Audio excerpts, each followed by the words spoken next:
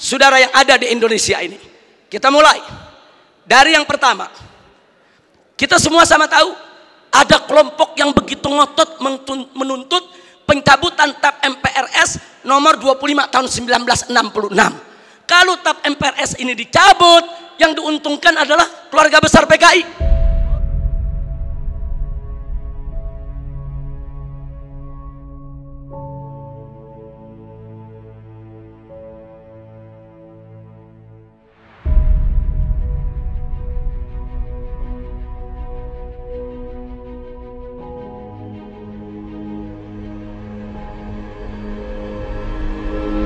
Mari kita lihat indikasi kebangkitan PKI saudara yang ada di Indonesia ini. Kita mulai dari yang pertama. Kita semua sama tahu ada kelompok yang begitu ngotot menuntut pencabutan TAP MPRS nomor 25 tahun 1966. Kalau TAP MPRS ini dicabut, yang diuntungkan adalah keluarga besar PKI. Ini indikasi, ini indikasi saudara. Enggak mungkin yang bukan PKI menuntut pencabutan daripada TAP MPRS tersebut. Karena kalau TAP MPRS nomor 25 tahun 66 dicabut, yang untung bukan umat Islam, yang untung bukan tentara, yang untung bukan polisi, bukan, yang untung bukan negara, yang untung adalah kader-kader PKI. Nah sekarang yang kedua, saudara, sebelum tahun 1998, sejarah pengkhianatan PKI di Madiun 1948 maupun G30 SPKI 1965 itu tercantum diceritakan dalam sejarah Indonesia. Masuk dalam kurikulum. Jadi dari tahun 1965 sampai 1998 sejarah pengkhianatan PKI merupakan bagian daripada kurikulum pendidikan untuk pelajaran sejarah Indonesia. Tapi begitu masuk reformasi 98 saudara pelajaran tentang pengkhianatan PKI baik di Madiun 1948 maupun G30 SPKI 1965 dihapuskan dari kurikulum pendidikan. Saya bertanya-tanya siapa ini manusia yang punya kekuatan bisa menghapus materi pengkhianatan PKI dari kurikulum? Ini bukan seorang biasa saudara. Dia punya kekuatan politik dia punya kekuatan ekonomi dia punya kekuatan sosial. Kalau hanya rakyat jelata biasa nggak mungkin dia bisa menghapus daripada pelajaran pengkhianatan PKI dari kurikulum pendidikan Indonesia saudara. Dan dampaknya serius. Sejak tahun 98 sampai hari ini saudara sampai hari ini saudara apa yang terjadi? Yuk mari kita lihat saudara. Anak-anak SD SMP SMA yang di tahun 98 saudara baru mulai mencicipi sekolah mereka nggak dapat lagi pelajaran tentang pengkhianatan PKI jadi dari tahun 98 sampai hari ini generasi muda kita yang umurnya sekitar 25 sampai 27 tahun mereka nggak tahu apa dan bagaimana PKI saudara. Saudara, ini kurikulum ini penting. Kurikulum ini membentuk daripada ideologi bangsa. Kurikulum ini membentuk pemikiran filsafat bangsa. Kalau sudah dihapuskan dari kurikulum, jangan kaget kalau anak-anak muda kita saat ini umur 20-an saudara, 25 atau 27 ke bawah tidak ada yang tahu PKI bahkan mereka merasa bangga pakai kaos dengan gambar palu arit karena ketidaktahuan mereka saudara. Sebelum tahun 98 saudara televisi nasional khususnya TVRI setiap tanggal 30 September selalu memutar ulang film tentang pengkhianatan G30 SPKI So, hingga dari Sabang sampai Merauke, dari gunung sampai ke lembah, orang di kampung-kampung nonton film tersebut, saudara, mereka tahu betapa biadabnya PKI, betapa zolimnya PKI, betapa pengkhianatan yang dilakukan oleh PKI. Tapi sayang sejuta sayang, setelah reformasi tahun 98 tidak ada satupun stasiun televisi sampai hari ini yang berani menayangkan kembali daripada film pengkhianatan G30 PKI saudara. Ada apa? Siapa itu orang yang bisa nakut-nakuti televisi? Siapa itu orang yang bisa neken media televisi? Siapa itu orang yang menguasai media di kita punya negeri? Sampai media takut nggak berani untuk menayangkan film itu kembali, saudara. Nah, ini fakta. Ini merupakan indikasi kebangkitan PKI yang tidak terbantahkan. Omong kosong kalau ada mengatakan PKI tidak akan bangkit. Omong kosong kalau ada mengatakan FPI, uh, uh, PKI PKI akan bangkit atau PKI ini sudah final tidak akan bangkit lagi. Omong kosong saudara. PKI sedang bergerak. PKI akan bangkit kembali. PKI akan melibas kita semua kalau kita tidak merapatkan barisan dari sekarang saudara. Dulu sebelum 98 ada litsus penelitian khusus bagi pejabat publik di Indonesia saudara. Seseorang ingin jadi gubernur ingin jadi kepala daerah apalagi mau jadi menteri saudara. Ada penelitian khusus. Siapa dia? Bagaimana ideologinya? Apa keterkaitannya dengan PKI saudara kalau terbukti ada keterkaitan dengan PKI, apalagi mengusung ideologi PKI, tidak akan pernah dilantik oleh negara sebagai pejabat publik, saudara. Tapi semenjak tahun 1998, Litsus ditiadakan. Nah, kemudian baik yang kelima, saudara, putra putri PKI keturunannya masuk ke partai-partai politik, masuk ke instansi lembaga-lembaga negara, saudara. Dan dari sanalah, saudara, mereka mempengaruhi kebijakan-kebijakan untuk keuntungan PKI. Baik, yang keenam, mari kita lihat lagi saudara. Kita tidak boleh menutup mata. Sejak tahun 1998 begitu banyak buku-buku yang membela PKI. Dibagikan secara gratis, dijual dengan bebas di toko-toko buku saudara. Pemerintah kita nggak nggak mampu untuk melakukan tindakan apa pun. Real, fakta, saudara. Bahkan ada satu anggota dewan, pimpinan satu komisi di DPR RI, saudara, begitu bangga mengarang buku mengatakan dengan judul "Aku bangga jadi anak PKI" nggak sampai di situ. Bahkan dia karang buku lagi dengan judul anak PKI masuk parlemen. Seolah-olah dia ingin meledek semua yang anti PKI eh manusia-manusia Indonesia yang anti PKI ada urusan apa dengan kalian? Aku bangga jadi anak PKI hei bangsa Indonesia bangsa Indonesia yang anti PKI ada apa dengan dengan kalian benci PKI ada apa musuh PKI aku anak PKI masuk parlemen dan aku bangga menjadi anak PKI innalillahi wa inna ilaihi rajiun. Ini indikasi yang ngomong yang sebelah sana. Mari kita lihat yang nomor tujuh. Saudara adanya usulan RUU KKR Komisi Kebenaran dan Rekonsiliasi. Ini juga tidak lepas dari peran-peran untuk kepentingan PKI kemudian yang kedelapan bagaimana Komnas HAM luar biasa saudara.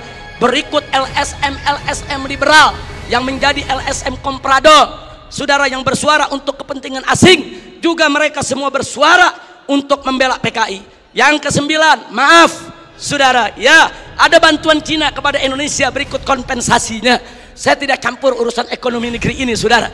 Tapi kalau sudah bantuan dari negara komunis Cina ke Indonesia dengan kompensasi-kompensasi tenaga kerja yang masuk Indonesia, wajib untuk diwaspadai saudara. Nah kemudian jangan lupa yang ke-10, saudara, ada beberapa parpol, bukan satu, yang terang-terangan mengirim kader-kadernya ke Republik Rakyat Cina untuk ikut pendidikan politik. Mereka dididik oleh Partai Komunis Cina, saudara. Ada apa? Ya, itu hak partai tersebut, itu hak pribadinya saya tidak ikut campur. Tapi saya sebagai bangsa Indonesia punya hak untuk mewaspadai partai-partai yang menjalin kerjasama dengan Partai Komunis Cina, saudara. Yang ke-11, di mana-mana ada seminar, ada temu kangen, saudara. Di mana-mana ada temu kangen PKI, seminar PKI, saudara. Sementara, saudara, dari pihak aparat keamanan setengah hati untuk membubarkan mereka, saudara. Berapa kali di Taman Ismail Marzuki mereka menggelar acara bikin kegiatan, saudara. Ada bentrokan dengan gerakan bela negara, dengan laskar-laskar FPI di beberapa tempat, saudara ada apa? Ada lagi anggota-anggota dewan yang merupakan kader PKI menggunakan kunjungan kerja mereka untuk membuka temu kangen kader PKI sebagaimana terjadi di Banyuwangi beberapa waktu yang lalu, Saudara. Yang ke-12, pembentukan Ormas Orsospol yang berafiliasi kepada PKI, pemutar balikan sejarah PKI dan lambangan lambang PKI. Saudara, saat ini di kalangan selebritis kaum muda dan maaf sampai Menko Polhukam Maaf, harus saya sampaikan saudara. Begitu kami protes adanya kaos-kaos berlogo PKI, Pak Menko mengatakan saudara, tentara dan polisi tidak usah over, jangan berlebihan. Jangan kalau ada logo PKI dianggap PKI. Ini kan cuma tren anak muda. Eh, logo PKI itu termasuk sosialisasi lambang PKI. Itu dilarang, saudara. Oleh TAP MPRS nomor 25 tahun 66 dilarang juga oleh Undang-Undang nomor 7 tahun 1927 tahun 99 dilarang juga oleh TAP MPR RI nomor 1 tahun 2003 dan dilarang oleh KUHP pasal 107 A, B, C dan D serta E. Saudara nggak bisa. Kalau itu sudah masuk larangan seorang Menko Polhukam tidak berhak melindungi logo Palu Arit hanya dengan alasan itu adalah tren kaula muda saudara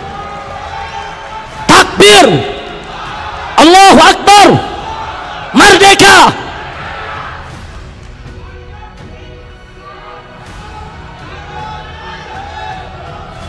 Baik yang ke-15 saudara. Belum lama ini saudara ada usulan konyol. Penghasut, penghapusan kolom agama dari KTP saudara. Eh kalau kolom agama dihapuskan dari KTP saudara maka ini merupakan kesempatan bagi kalangan ateis bagi kalangan PKI untuk tidak lagi mencantumkan agamanya saudara. Ini berbahaya. Ini merupakan indikasi kebangkitan PKI baik yang ke-16 saudara.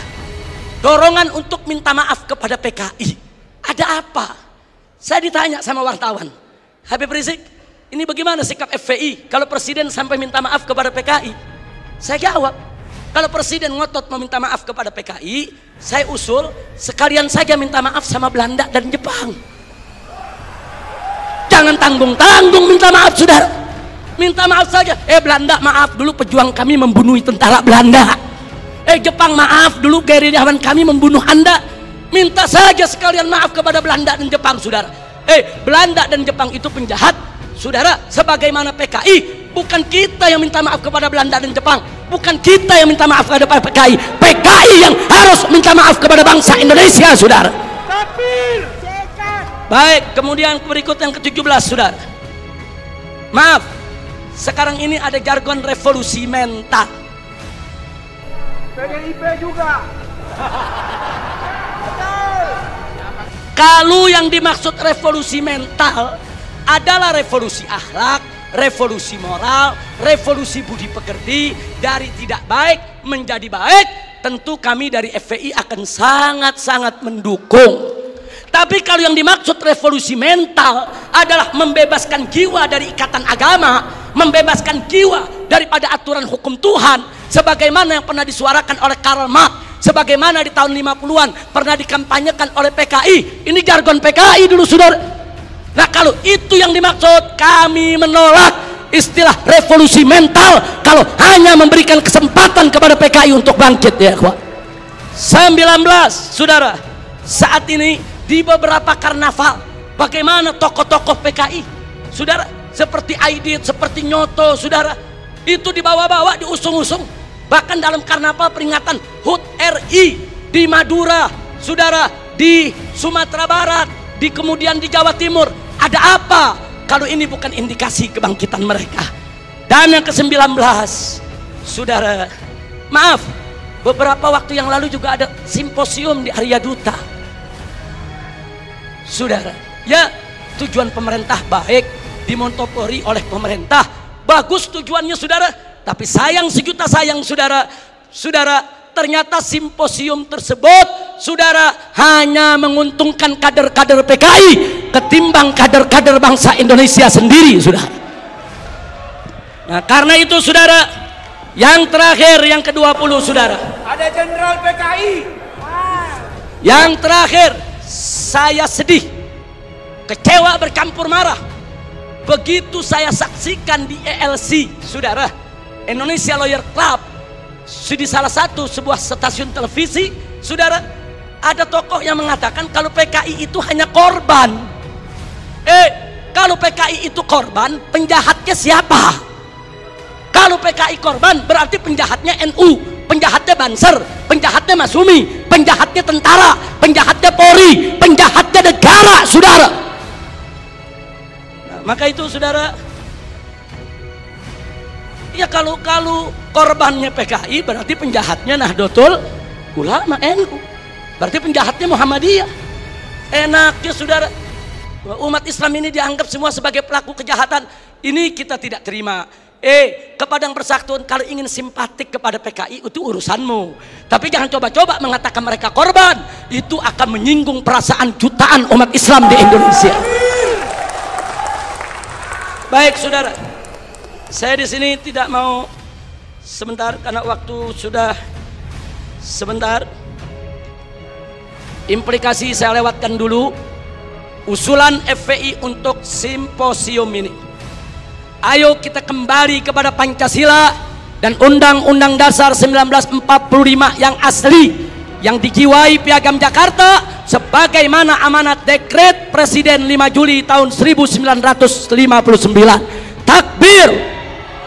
Merdeka! Yang kedua, tolak segala perbuatan dan pemahaman ideologi yang bertentangan dengan nilai luhur ketuhanan yang Maha Esa sebagai jiwa daripada Pancasila. Apa pun ideologi, pemahaman dan perbuatan yang bertentangan dengan nilai luhur ketuhanan yang Maha Esa harus kita tolak, Saudara. Termasuk pemahaman PKI, komunisme, ateisme, eh, kemudian Leninisme, Marxisme, termasuk segala kemunkaran dan kemaksiatan yang bisa mengundang kemurkaan Allah sehingga bisa terjadi yaitu malapetaka dan musibah di negeri kita.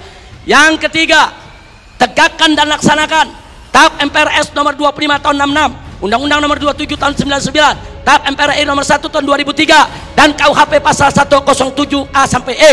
Karena itu kita serukan TNI dan Polri jangan pernah ragu anda semua punya payung hukum untuk menindak, menutup, membubarkan setiap kegiatan PKI di seluruh wilayah NKRI ini, saudara. Kemudian yang keempat, ada lima poin, saudara. Tolak formalisasi rekonsiliasi dengan PKI. Saudara, saya punya cerita. Di tahun yang lalu, 16 Agustus tahun 2015, kami Ormas Islam itu melakukan long march yang diikuti oleh ratusan ribu umat Islam dari Senayan, Sudirman, Tamrin sampai ke istana. Kenapa kami gelar itu parade tauhid saudara dengan ratusan ribu umat Islam? Karena kami dengar dari sumber yang sangat terpercaya bahwa presiden saudara berencana untuk memasukkan saudara item permohonan maaf kepada PKI di dalam pidato kenegaraannya. Kita melakukan demo-demo kecil dan puncaknya yaitu tanggal 16 Agustus 2015 Saudara. Nah, lalu apa Saudara? Di situ umat Islam sepakat kalau Presiden Jokowi tetap ngotot meminta maaf kepada PKI atas nama negara, kami akan serukan umat Islam saudara dan seluruh bangsa Indonesia dari Sabang sampai Merauke kita turun ke jalan lengserkan siapa pun presiden yang membela PKI saudara takbir! Merdeka! Nah kenapa kami tolak formalisasi rekonsiliasi dengan PKI karena akan membuka luka lama sejarah dan bisa membuka pintu fitnah yang berbahaya. Yang ingin saya berbagi cerita saya diundang oleh Menko Polhukam di rumahnya.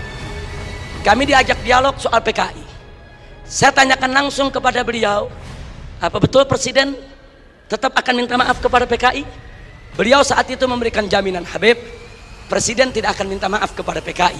Kalau sampai saya menyetujui itu, beliau tunjuk pengawalnya di sebelah Kopassus.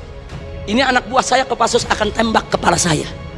Nah, terus saya tanya lagi, saudara kepada beliau, baik, tapi saya dengar Anda dapat tugas khusus dari Presiden nah, untuk mencari formulasi rekonsiliasi nasional berkaitan dengan PKI. Nah, beliau jawab betul. Jadi beliau tidak menafi, saudara. Betul. Saya dapat tugas bagaimana mencari formulasi rekonsiliasi kita dengan PKI. Baik, saya tanya, itu maksud rekonsiliasi itu apa, Pak? Tujuannya apa? Apa tujuannya? Oh dikatakan supaya tidak ada dendam di antara kita, supaya kita hidup damai. Oh kita tolak, saudara. Tidak perlu rekonsiliasi yang formal. Sebab saudara, rekonsiliasi secara alami telah berjalan di tengah masyarakat antara PKI dengan bangsa Indonesia sudah. Artinya hari ini seluruh kader-kader PKI keturunan PKI sudah mendapatkan hak sosialnya hak sipilnya hak budayanya hak politiknya hak ekonominya. Mereka minta apa lagi? Mereka jadi pejabat bisa jadi pengusaha bisa. Mereka udah nggak diganggu oleh umat Islam saudara. Itu rekonsiliasi alami saudara Tinggal kita minta kepada keturunan PKI tersebut, silakan kalian berkarya, silakan kalian ini berkarir, silakan kalian berjuang untuk bangsa ini. Tapi satu syarat, kami tidak akan ganggu kalian jadi pejabat, jadi bisnismen, jadi pengusaha. Tidak, tidak. Tapi syarat jangan lagi bangkitkan ideologi komunis, jangan lagi bangkitkan partai komunis di Indonesia. Nah, tapi sekarang mereka minta lebih. Mereka minta partai komunis dipulihkan kembali dan lebih kurang ajarnya lagi, saudara. Mereka minta negara minta maaf kepada mereka. Ini rekonsiliasi macam apa?